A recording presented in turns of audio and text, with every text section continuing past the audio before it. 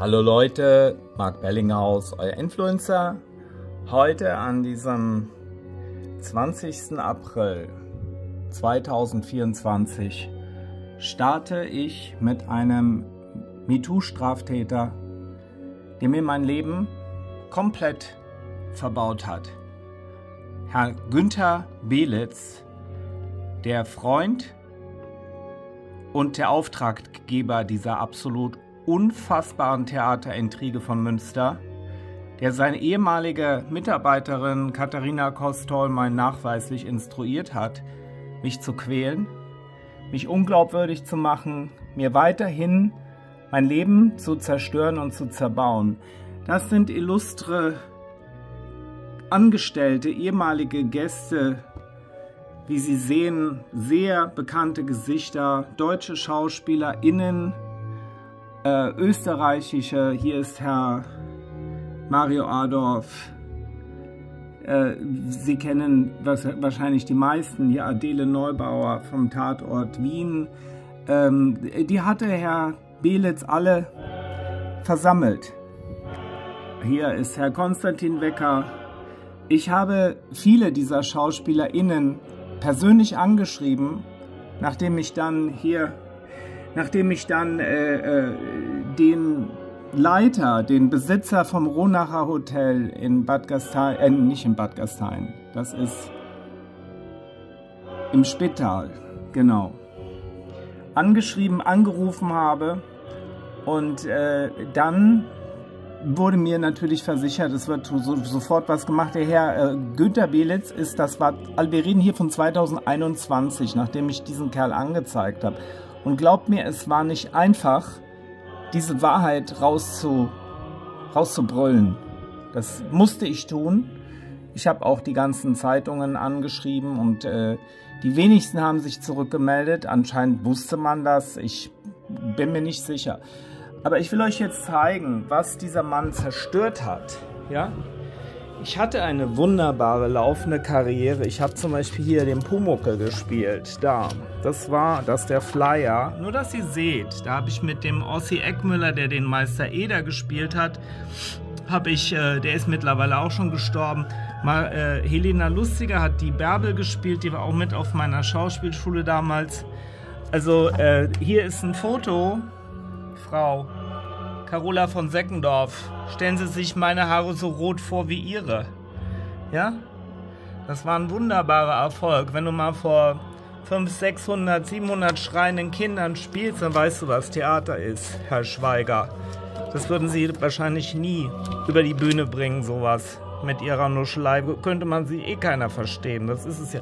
Hier ist zum Beispiel das Leben des Galilei habe ich Dominik Horwitz, Brigitte Janner, Tobias Moretti, Heini Göbel, Herbert Rom.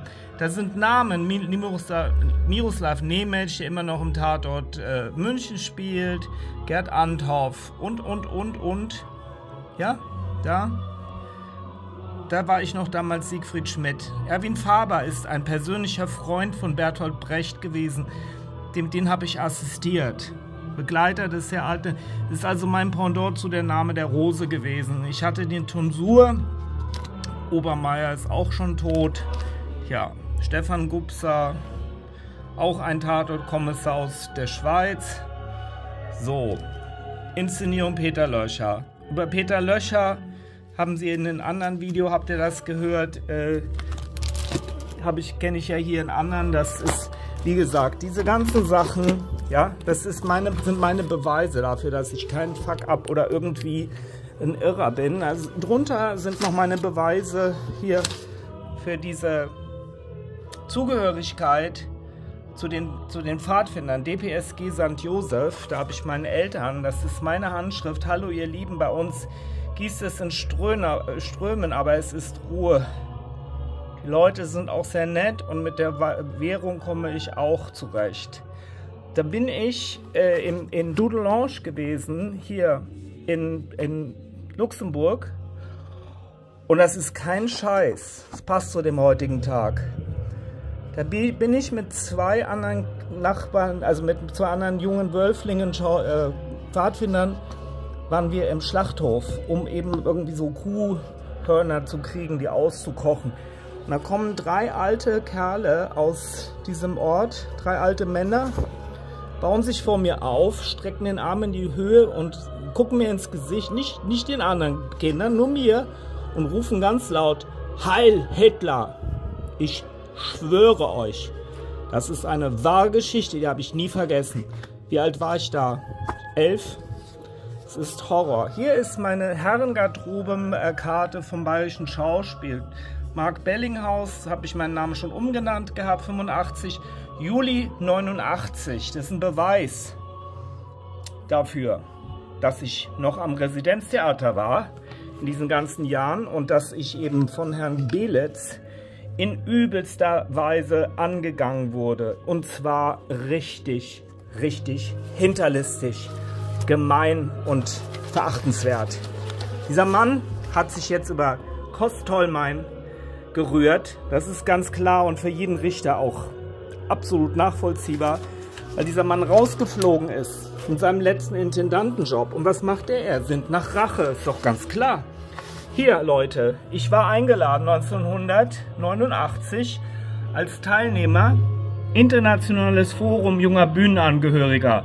Das hat dieses Schwein Belitz mir alles kaputt gemacht. Ja, hier ist die Liste. Da sind zum Beispiel, hier, da oben bin ich, Mark Bellinghaus. So, da sind viele, aus denen was geworden ist. Manche kennt man nicht, aber einer ist mir ganz aufgefallen, als ich das heute angeschaut habe. Guckt euch mal diesen Jungen an. Wer ist das? Hm? Das ist Barry Kosky. Das ist einer meiner größten, also ich finde den genial als Opernregisseur. Der ist ja auch in Berlin, komische Oper Berlin und so weiter. Und da war ich in diesem Kurs und Jahrgang war ich dabei. Da bin ich sehr stolz drauf, dass ich mit Herrn Kosky, ich wusste das gar nicht mehr. Ich werde mich aber bei ihm melden über ein Gemeinschaftsprojekt was natürlich mit meinem Opa zu tun hat. Weil nur so, nur so kann man diese ganzen Irren, die sich hier zusammentun, weil ich überhaupt nichts dafür kann, von wem ich abstamme. Und das passt heute zu diesem Tag ganz besonders. Und dass jetzt hier ein anderer Wind weht in Münster, das könnt ihr einfach daran sehen, dass ich diesen befangenen Richter Benjamin Kühnet bei dem Präsidenten des Landgerichts Münster viermal als befangen erklärt habe. Aus verständlichen Gründen. Ich habe ja auch die Beweise dazu geliefert. Und was macht Herr, Herr äh, Schambert? Ja, er stellt es alles ein. Und jetzt kam in der Sache 135F 466024 kam eine ganz tolle Antwort. Hier auch so ein horrorgelber Brief. Wenn ihr diese gelben Briefe bekommt, da geht einem schon mal die Muffe. Ich habe an einem Tag sechs davon bekommen. Am 21.02. Äh, 21, das weiß ich noch. Da haben die mir doch tatsächlich sechs von diesen scheiß Briefen da rangehetzt. Und das ist unfassbar, was sie hier gemacht haben.